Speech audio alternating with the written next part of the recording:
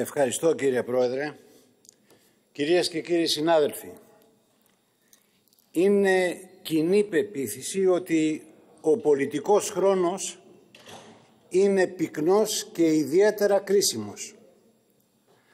Ζούμε πράγματι ιστορικές στιγμές. Χρέος όλων μας να σταθούμε στο ύψος των περιστάσεων, καθώς η ιστορία δεν πρόκειται να χαριστεί σε κανέναν.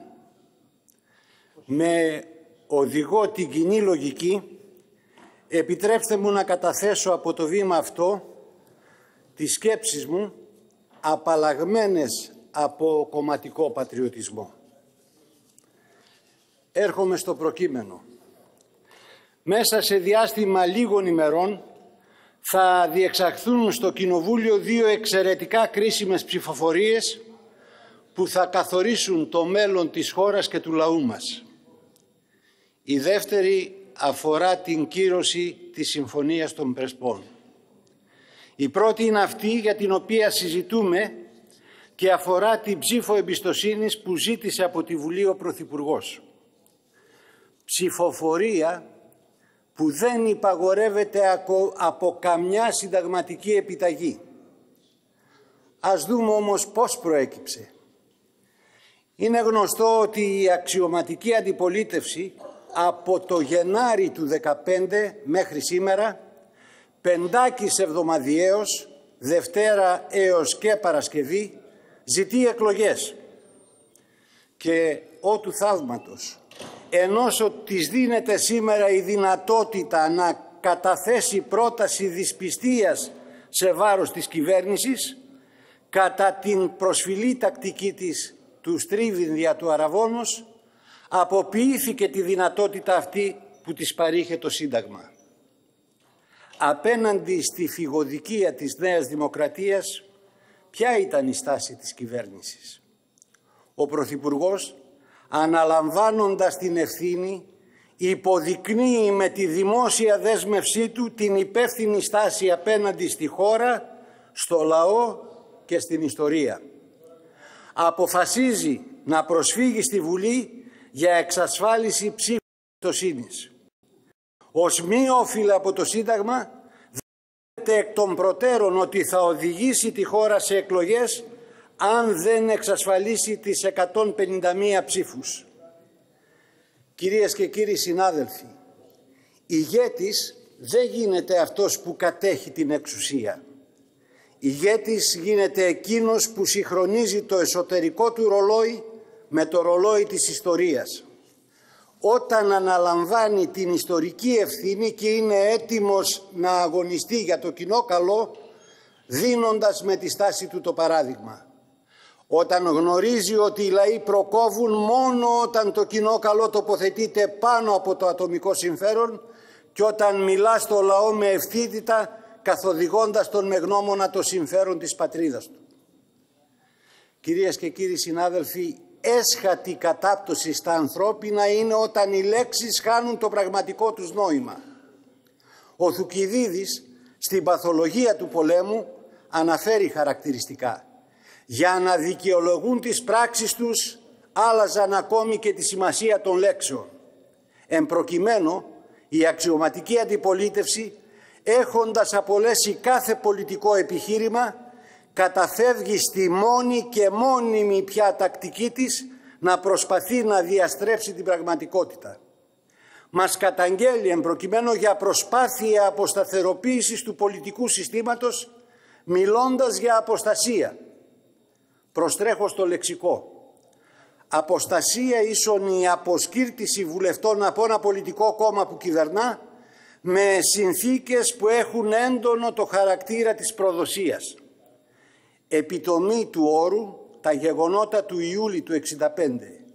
Οι βουλευτές της Ένωσης Κέντρου με την αποστασία τους ρίχνουν την εκλεγμένη κυβέρνηση με αποτέλεσμα να δημιουργήσουν πολιτική κρίση που οδήγησε στην εθνική περιπέτεια της κατάλυσης της δημοκρατίας με αποκορύφωμα την τραγωδία της Κύπρου.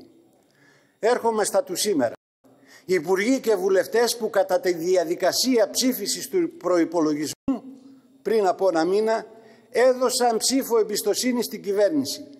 Αυτό ακριβώς πράττουν και τώρα. Πιστοποιούν με την ψήφο τους τη βούληση για τη συνέχιση του κυβερνητικού έργου. Κατανοώ βέβαια τον παραλυρηματικό λόγο του κ. Μητσοτάκη. Ο λόγος του είναι αποκάλυψη της πολιτικής του απόγνωσης. Γνωρίζει πως η πολιτική του ανεπάρκεια υπαγορεύει την αθλειότητα των λόγων του. Εάν τους άλλους λάθεις, σε αυτό συνειδήσεις, κύριε Μητσοτάκη. Όπερ με θερμινευόμενο, αν τους άλλους ξεγελάσεις, θα το γνωρίζει η συνείδησή σου. Σε αυτόν τον εσωτερικό μονόλογο γνωρίζετε και σας κατανοώ ειλικρινά το ελληματικό του πολιτικού σας εκτοπίσματος. Ωστόσο, το να καταφεύγετε σε ανομολόγητες ύβρις κατά του πρώην αρχηγού ΓΕΘΑ και νυν Υπουργού Άμυνας κ. Αποστολάκη που τίμησε καθ' όλη τη διάρκεια της θητείας του τη στρατιωτική στολή και επέδειξε μοναδικό πατριωτικό και δημοκρατικό ήθος αποτελεί έσχατη και όχι μόνο αθλειότητα. Κύριε Μητσοτάκη, δεν πρέπει να σας διαφεύγει ότι ο δημόσιος λόγος πρέπει να αρθρώνεται με απόλυτη συνείδηση της πολιτικής ευθύνης και μια αναγκαία επισήμαση.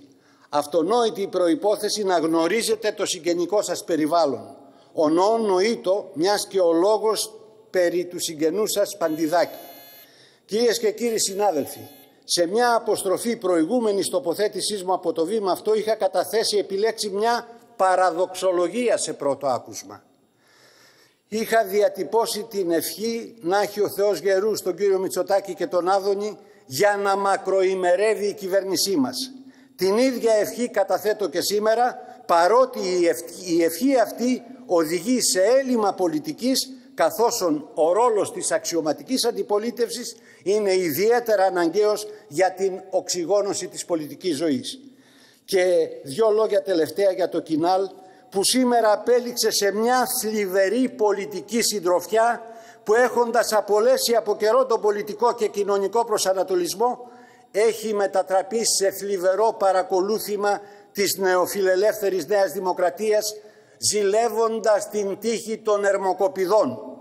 Ως γνωστόν, οι Ερμές, μαρμάρινες πρωτομές του, του Ερμή στην αρχαία Αθήνα, χρησιμεύαν ως οδοδείχτες. Οδοδείχτες στην πολιτική πορεία της πολιτικής σας μήτρας, του Πασόκ, δεν θα κουράζομαι να, να σας το υπενθυμίζω, ήταν οι μορφές ενδεικτικά του Μανώλη Δρετάκη, του Πεπονή, του Χαραλαμπόπουλου, του Αυγερινού, που έδειχναν το δρόμο προς το σοσιαλισμό. Θλιβερή επίγονή τους η σημερινή συντροφιά που αφάνισε τους οδοδείκτες και οδήγησε το κόμμα σε πολιτική περιδίνηση. Κύριε συνάδελφε, ολοκληρώστε παρακαλώ. Μισό λεπτό, ναι. ευχαριστώ κύριε Πρόεδρε. Τυφλή τα τότα των τενούν τα τόματεστε και δεν βλέπετε, δεν ακούτε, δεν αφουγκράζεστε τα καλέσματα των καιρών και του λαού μας που θέλει και απαιτεί από τα προοδευτικά κόμματα την σύμπηξη και τη συστράτευσή τους ενάντια στο γκρίζο του νεοφιλελευθερισμού και το μαύρο του φασισμού. Κλείνοντας, θα ήθελα να επισημάνω ότι η γνώση, η κρίση της κοινωνίας, καθώς και το ένστικτο της κοινωνικής αυτοσυντήρησης, μας οδηγούν στην πεποίθηση ότι η κοινωνική πλειοψηφία θα μας εμπιστευτεί στις εκλογές του προσεχή Οκτώβρη για άλλα τέσσερα χρόνια για τη διακυβέρνηση της χώρας. Μέχρι τότε μπορείτε να περιμένετε. Να περιμένετε υπομονετικά. Ευχαριστώ, Ευχαριστώ κύριε συνάδελφε. Ο συνάδελφος κύριος Άδωνης Γεωργιάδης.